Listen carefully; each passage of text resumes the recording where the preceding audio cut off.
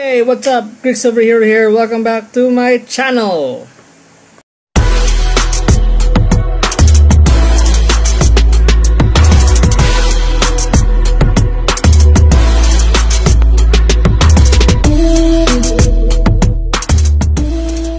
Ayan guys, hello, what's up? And uh, so uh, this is a new foodie trip vlog.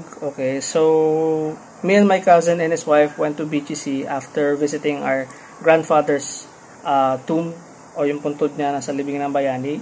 So, bigla lang gutom kami kasi, you know, a while ago it was lunch time or around lunchtime. So, uh, yung asawa ng pinsan ko, si Kitty, uh, yung wife ha, si Eric yung pinsan ko, si Kitty, uh, sabi niya tayo doon namin yung Shake Shack kasi uh, matagal niyang gusto dong, uh, you know, i-try. Ako rin, so I told them, oh, tama-tama, I was wanted to eat to try out Shake Shack's uh, burger and fries. So we went there uh, sa BGC.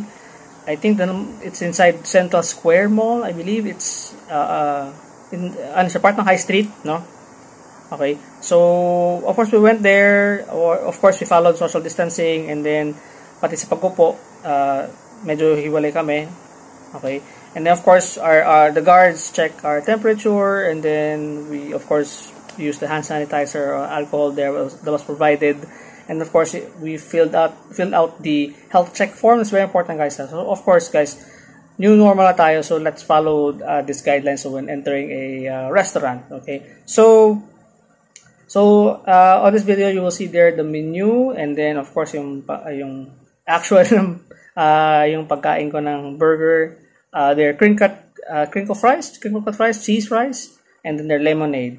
Okay, so uh, just to let you know, if you're asking about the price, uh, lumalabas na sa yung kinain, kinain namin lahat na sa 1,700, 1,700 pesos. Tatlo na kami doon na. So, they ordered, uh, si Kitty, nitry niya yung strawberry shake. Dapat nitry ko rin. Hindi ko napan, I think, napansin ko sa menu or hindi ko napansin. Sobrang gutom ko. But, Uh, yung yung texture ng burger guys kasi single patty siya. Because in Shake Shack you have you have two options. You can order the single patty or double patty double patty burger. So I tried the Shake or Shack burger. Sorry, Shack burger. Yeah, the Shack burger and with with cheese sauce siya. Okay. And of course tomatoes and everything the patties there. So mapapansin niyo sa video, medyo malit siya. Okay. Yung fries nila with cheese fries, awesome. The lemonade is awesome. So Um, ako, rating ko, for me personally, it's 4 out of 5 stars. Okay? Uh, kasi for the price, med, medyo pricey siya ng konti. Price, konti lang ng konti. Kasi parang Zark, almost same as Zark's, yung price ng burgers nila. Yeah. Pero masarap naman, guys. It's not bad. It's really good. It's really good. So, but I, I want to know, guys, what you think let me know uh, if you will try out Shake Shack Burger, uh, the fries, the shakes. Let me know guys on the comments below, okay? And yeah, so enjoy the rest of the video. And uh, don't forget to like this video and subscribe to my channel guys. Alright, see you. Enjoy the video. Bye.